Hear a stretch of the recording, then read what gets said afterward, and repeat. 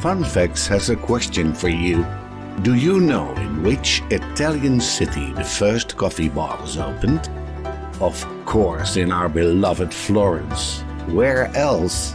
In 1896, this so-called bar cafe opened its doors to serve the best coffee in the morning and aperitivo and birra in the afternoon. The cafe was originally called Reininghaus after the two German brothers, but soon everybody called it the Giubbe Rosse. That means red jackets. And as you can see, those were worn by the waiters. Many famous artists made the bar cafe their own. During the years, so many painters, poets, and writers visited here some of which were so impressed they made a painting of it. This one can be admired in the Palazzo Pitti and was made by Baccio Maria Bacci. Since the 70s, things went down and prices went up on the Piazza della Repubblica.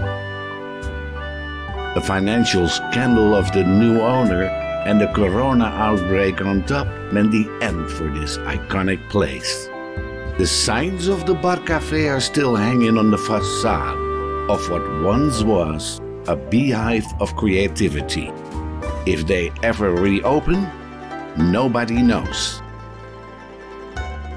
This was just another fun fact from Florence.